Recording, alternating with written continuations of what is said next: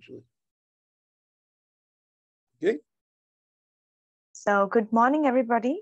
Uh, I'm Dr. I'm Khushboo Saha. I'm an international medical graduate from India, from Lady Hardinge Medical College, New Delhi. So today, the topic of my presentation is the clinical approach to pediatric seizure. Now, I'm not going to compl complicate things because everybody knows what seizures are, what epilepsy syndromes are. So not going into the theory of it, but the clinical and the practical approach towards it. As a first year resident, what's important for you? So that is why uh, that is how we're going to proceed in the further presentation to see how we can diagnose seizure in a more algorithmic manner and how can we can go about in its management. Okay. So why the urgency?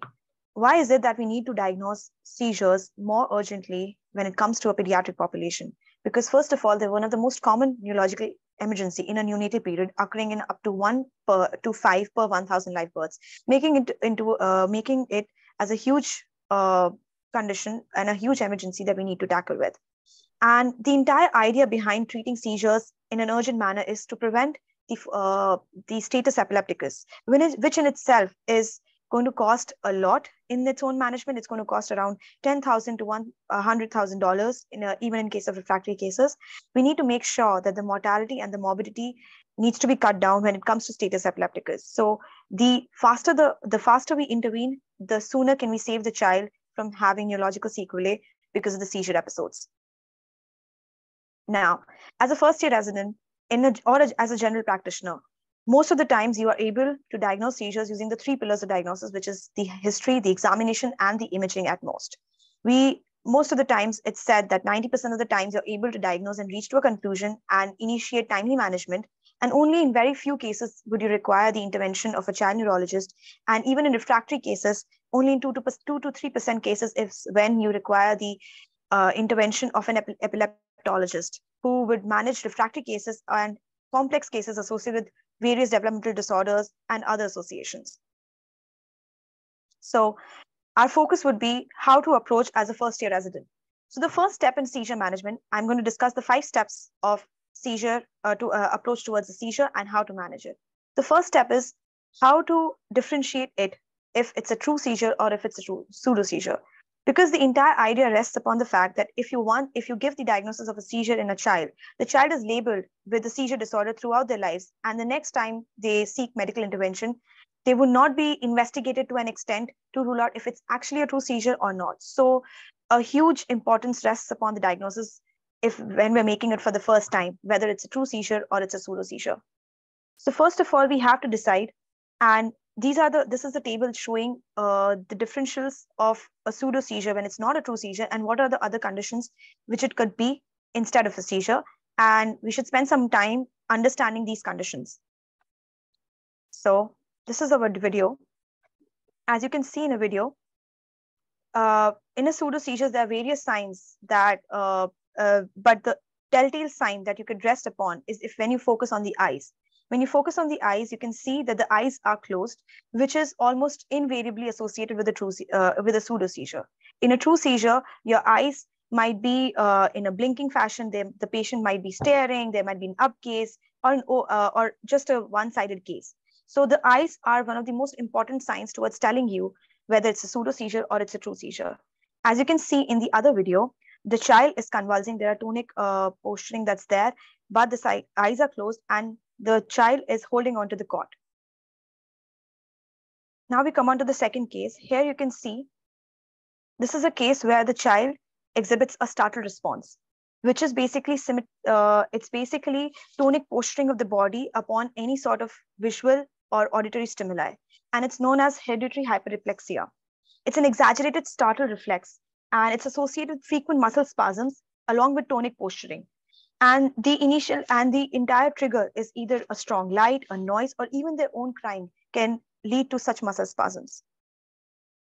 And you have to understand and understand the history. If you ask the history in such uh, case, you would come to know that the patient, the uh, parents of the patients have also experienced the same thing because it's a hereditary uh, disorder, and it uh, and it uh, and the hereditary fashion is associated with the autosomal recessive condition. And the treatment lies on by benzodiazepines and antispasmodics, and the patient can do well on very low dose of clonazepam throughout their life and can be stable on it. coming on to this video, where you could see, um, okay. So in this video, you can see that the child is resting comfortably on the bed. It's a home video that the parent have bought, the parents have brought, and you can see sim uh, symmetric twitching and clonic jerks of both the limbs. And the patient's sleep is undisturbed, and this is known as benign neonatal sleep myoclonus. It's an entirely benign condition. Uh, the etiology underlying uh, this condition is the transient imbalance in serotonin uh, levels, and hence the treatment to this is either reassurance because it's a benign condition. It resolves uh, itself resolves by the age of two to six months of age. There is no uh, requirement of any EEG. Video EEG might be required to differentiate it from other disorders. The, the most common differential being the benign familial neonatal myoclonus syndrome, whereby the patient exhibits other signs of developmental disorder as well. In this case, there is uh, the patient can exhibit such signs of myoclonus uh, upon sound or touch or even uh, even the touch of a mother. But when you wake up the child from the sleep the child will be normal and absolutely healthy. So this is also a form of pseudoseizure known as benign neonatal sleep myoclonus. Coming on to next one. Okay. So in this video you can see a characteristic uh, video of a child crying undergoing atonic posturing, and then turning cyno, there's cyanosis of the lips, and then now the child turns limp and does, uh, dozes off. So it's, if anybody can guess, this is a classic picture of breath holding spells. So breath holding spells, the cyanotic type, are a very common uh, type of pseudo seizures which presents as seizures and can be mistakenly diagnosed as seizures. In this case, it's frequently associated with anemia and iron deficiency, and supplementing the patient with three to six, uh, iron with iron for three to six months can resolve this condition. It's also associated. Uh, there's another uh, form of it which is known as the reflex anoxic syncope or reflex anoxic seizures, which are the pallid type. If you understand that the child, uh, in case of reflex anoxic syncope, the patient might uh, uh, be running and playing, and then suddenly they turn pallid and they fall on the ground and there is no tonic posturing. There might be some some amount of tonic posturing, but it's classically just a breath holding spell, which needs to be uh, treated with iron supplementation. So in this next video, if you observe the child, we are giving them, uh, we're giving the child a glass of water to hold. And suddenly with, the, with this activity, the child's arm will go into a dystonic posture. So the, this falls under the category of paroxysmal dyskinesia. It's basically a pattern of dystonic and choreiform movements, which are absolutely painless. So now it's classified uh, into three types. And I'm going to show this video again. There is another video whereby you can see these are two siblings, whereby these, uh, when, when one of the boy walks, he's normal. But in the right video, you see, as they continue to walk, the leg goes into a dystonic posture. Now, this is also a type of paroxysmal dyskinesia, which is uh, classically known as paroxysmal exercise-induced dyskinesia. So now what are these entities? If you go back, so these are just, as I said, as I mentioned, painless dystonic and choreiform movements that happens in a child. Is, these are absolutely benign. There are four types which are classified according to the trigger. The paroxysmal kinesigenic dyskinesia, which was the first video you saw, whereby the child, the, when the baby was given a glass to hold, the hand went into a dystonic posturing. So the trigger in this case are sudden movements. The other ones are paroxysmal non-kinesigenic dyskinesia, the trigger to which are alcohol and caffeine, and these are most frequently seen in adults. The other one is the paroxysmal exercise-induced dyskinesia, the one that you saw on the right, the video whereby the child was walking and after walking few steps, the leg went into a dystonic posturing. And this classically responds to thiamine. Uh, and the fourth one is paroxysmal hypnogenic dyskinesia, which occurs classically during sleep, and it's very rarely seen. So the focus is on the point A and C, which occurs very frequently in children and might mimic a seizure. So it's important to diagnose and understand these disorders so that we can in, in, intervene at the same time. And you and if you see the intervention is pretty different. In case of exercise-induced dyskinesia, the treatment uh, is thymine, and the patient responds beautifully to thymine. So um, I'm going to move ahead. This is another video. And if you can see, it's classic upward, upward gaze. And when the patient sticks out the tongue. So this is a typical case of oculogyric crisis, which is a side effect of antipsychotics and dopamine antagonists like metoclopramide.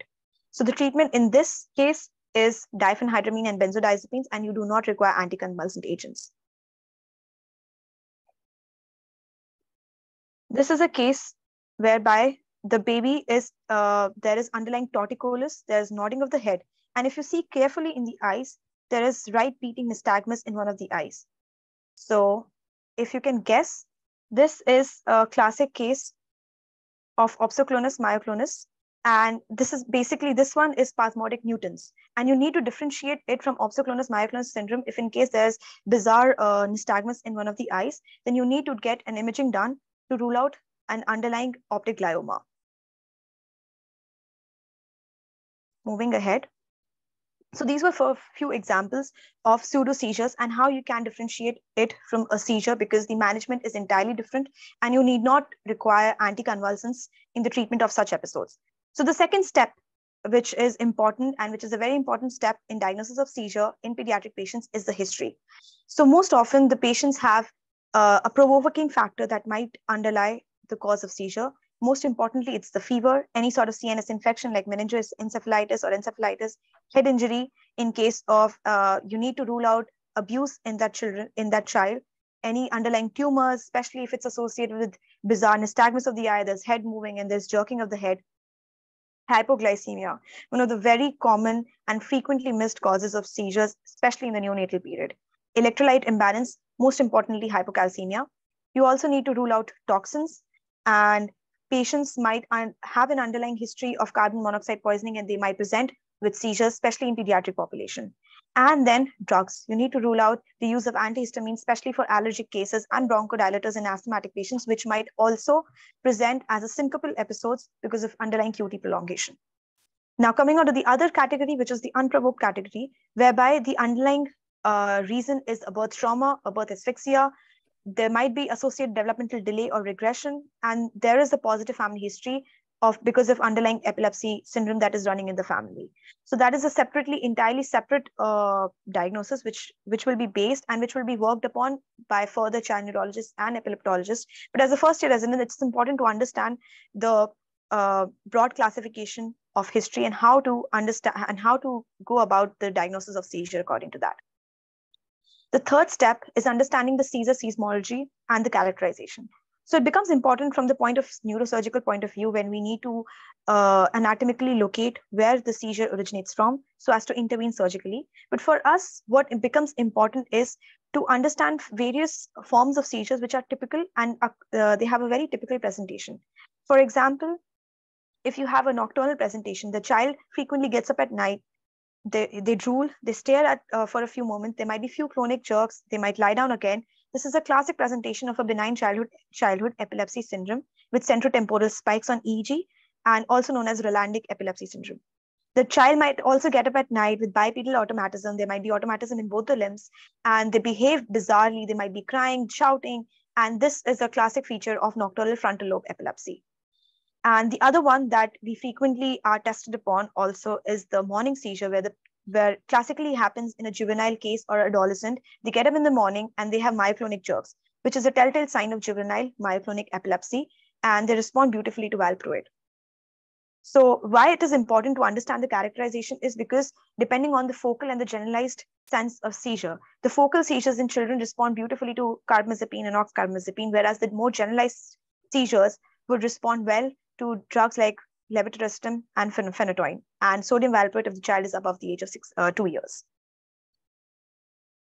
So if you can see, if you see this video classically, it's a classic presentation of absent seizure.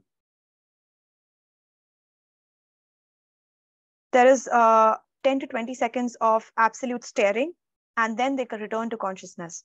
So this is a classic absent seizure that happens very commonly in children and might be misdiagnosed as inattention, laziness. The child might have to undergo repeated uh, school absenteeisms, and there is a lot of uh, stigma that is associated with this because you don't really understand most of the times as to what is happening, and it's labeled as just mere laziness on part of the child. So it's important to understand the presentation of such cases in children. So in this video, you can see there are sudden shock-like contractions that usually appear at irregular intervals in an isolated muscle or it can be in a group of muscles, which can lead to movement of the limbs altogether. And they might be present in the resting state or may, they might be activated by a stimuli, which might be emotional, visual, or auditory, or even a touch. And this is, in this case, this was a this is a classic feature in case of SSPE, which is a complication of measles. So especially in case of children where infectious disorders are, uh, they take an important role in causing seizures. SSPE being a complication of measles, we need to understand how it presents and how to intervene in that case. So if you closely observe in this video, the child has extensive spasms of the upper limb and the lower limb, and which are unprovoked. So these are very classic. Uh, it might not be very classic when the child is lying down, but if you pick up the child in, in the lap, you might see the extensor posturing and a jackknife posturing whereby the arm and the legs, they go into an extensor spasm. And that is classically, if associated with developmental delay and hypsarrhythmia, it is called one of a uh, very favorite uh, question as well, the West syndrome. And the treatment options in this case are ACTH, vigabatrin, and even oral prednisolone, but clinically used options are the ACTH and the vigabatrin. So if you notice in this case, the child is comfortably watching a television and suddenly starts laughing or crying. So they have just unprovoked episodes of laughing. And if the baby is able to communicate, you'll understand that the baby will say that I cannot control this episode of laughter. It might be confused with ADHD, with other behavioral disorders in child, but it's a, actually a kind of seizure known as gelastic seizures. These are very hard to diagnose, and, and imaging is required to rule out the underlying cause of gelastic seizures, which is most commonly a hypothalamic hamartoma. So now we've seen the different types of seizure presentation in children. So you could see how to differentiate from pseudo seizures to seizures, what to ask on history. And, and the third step in diagnosis of seizure is the examination, which is very important from inspection and from, uh, and from other aspects. So if you inspect, you can see the adenoma sebaceum, the ashy leaf macules, the shagreen patches, and the baby has infantile spasms. And if you trace the history in mothers, the mother also has adenoma sebaceum, which was priorly known as, uh, which was uh, called so because it was confused with acne. But if you, uh, if you uh, subject the patient to a treatment of acne, it doesn't resolve. So these are basically hamartomas of various organs, and it classically presents in tuberous sclerosis. And it might also present with periungual fibromas. So this might be an underlying epilepsy syndrome that might be causing the seizure in the child. If you can see in here, there are this classic dysmorphic it's not a very classic dysmorphic facies, but just dysmorphic facies. And if you can see, there's a protruding uh, four, fifth, uh, sixth digit. So it is, uh, it's classic for hypoparathyroidism retardation syndrome, also known as the partial D-Jordson. The patient has dysmorphic features. There are uh, polydactyly. On examination, if you uh, if you subject them to blood tests, they will have hypocalcemia. Uh, and on imaging, they have classic bilateral basal ganglia calcification, which I'll seen, which I'll show in other slides, in further slides. And these patients present with intractable seizures. And for them, they need to have a neurosurgical evaluation done to correct these forms of seizure syndrome. This one, you can see, uh, you can see a port wine stain on the left side of the body, on the left side of the face of this child. And on the imaging, you can see choroid plexus enhancement on the MRI. So it's a classic for Sturge-Weber syndrome, which presents with port wine stain, leptomeningeal capillary enhancement, seizures, intellectual disability, and glaucoma. So these patients, they require continuous monitoring and neurosurgical evaluation, as well as treatment of glaucoma and rehabilitation for their intellectual disability. So now the fifth and the last step is the labs. Once you've come, uh, once you've uh, crossed all the pillars of diagnosis from detecting, from uh, making a diagnosis between pseudo seizures to seizures, the history, the examination, and then conducting the labs. The most importantly, when you've stabilized the patient and you've uh, uh, you've underwent the initial stabilization with airway and, breathing management and you've uh, secured an iv line you need to get the blood glucose electrolytes and calcium checked because as we discussed hypoglycemia is one of the very common causes of seizures in neonatal and infantile period in a febrile child, if the patient presents with uh, fever, do a CBC, a CRP, and a lumbar puncture based on the clinical discretion. May, most of the times, lumbar puncture might not be required, but if the patient presents with high fever, there are signs of neck rigidity, and there are signs of meningismus, then go ahead with the lumbar puncture. A toxicology screening will also be very important if there's history of the child being uh, there in a closed car or in a closed house. So when to do imaging is the case because you need to balance between exposing the child to radiations toward and conducting an imaging to reach to a diagnosis. So CT is usually required in emergent conditions, although its specificity in detecting a lesion is less compared to MRI, being only 7 to 8%. It's required in conditions where the patient comes with head trauma, and it's also used to detect calcifications, especially the basal ganglia calcifications in case of hypoparathyroidism retardation syndrome, which are missed, often missed on MRI. The MRI are considered for children with refractory cases or those who have classic temporal lobe epilepsy findings and have equivocal CT findings as well. MRI can also be used as one of the uh, investigations to detect the underlying developmental delay and why, as to why the patient, if the patient presents with developmental delay and seizures, which might not be evident on CT. As you can see here, if you can see on the first image, the ventricles are enlarged and there is calcification, periventricular calcification, which is classic for uh, uh, torch infections in child. In the second image, you can see basal ganglia calcification, which as we discussed is present with hyperparath uh, hypoparathyroidism retardation syndrome. In the third one, it's a subdural hematoma. So the baby uh, would have undergone some accident or subjected to abuse. In the fourth, uh, and this is as well a subdural hematoma, but a chronic one. In the fourth image, you can see leptomeningeal vascular formations. And the fifth one is also one of the resolved cases of such vascular malformations. So now coming on to the role of EEG. So what's the role of EEG in case of kids? Because as uh, in case of kids, the, it becomes even more important to get to the root diagnosis because they are not able to provide us with a pertinent history compared to adults. In an acute setting, EEG is required to uh, diagnose it and to rule out non-epileptic uh, seizure episodes. And in that case, if the patient is not responding to multiple doses of uh, anticonvulsants and still the patient is unconscious, you need to rule out as to if there's an underlying uh, seizure episodes that that is happening in the child, or it's just the side effect of benzodiazepine or excessive benzodiazepine. In case of a stable child, the EEG yields highest results within the first day of the seizure episode.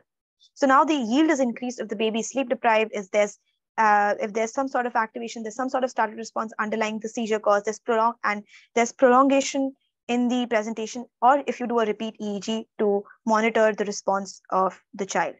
And it is the only investigation that is recommended for all children for, with their first non-febrile seizure episode.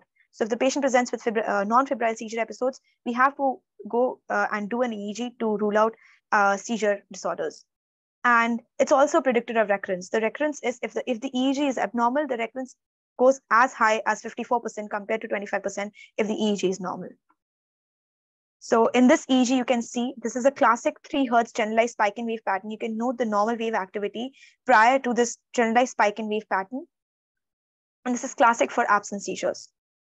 So you can see in this picture, it's a normal EEG pattern, but in case of uh, the second image, you can see there is slow spike in wave compared to the other one, which was very rapid 3 hertz pattern. This was a very slow spike in wave pattern.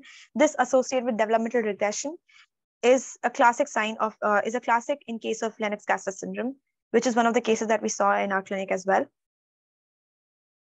The third picture you can see here is the normal EEG compared to this four to six very uh, fast spike in wave pattern with polyspike wave discharges. And it's a very bizarre pattern that you can see. And it's classic for myoclonic seizures occurring in juvenile epilepsy syndrome, classically presenting in the morning and in adolescence.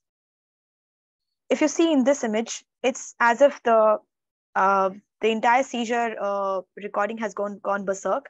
And this is a very bizarre wave pattern known as hypsarrhythmia, which is classic for West syndrome, and a baby presenting with infantile spasms, developmental delay, and hypsarrhythmia on the EEG picture the diagnosis being West syndrome.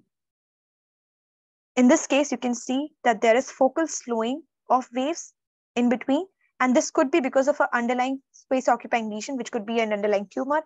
And in children, especially from developing uh, countries, it most commonly becomes neurocysticercosis, which could lead to seizure episodes and a classic slowing of waves. So Now coming on to the management. So once you've uh, gone through the monumental task of diagnosing a seizure, characterizing a seizure as to if it's a pseudo seizure or a pseudo seizure, we have to uh, we have to urgently intervene on the, in the child. So the initial step is stabilization. As with any emergency, any, any neurological emergency, you need to stabilize the child with airway and breathing. And once you've obtained the IV access, you need to check the blood sugar levels, their uh, blood electrolyte levels, and uh, you have to diag- you have to distinguish based on the history and the examination if it's a pseudo seizure or if it's a seizure. If it's a pseudo seizure, you just have to reassure the patients, uh, parents, and you have to monitor the child for any further seizure episodes. And if in case the patient has a history of aura, there is any post-ictal period, there is history of seizures in the family, and there is any sort of provoking factor that is present, go ahead with seizure management.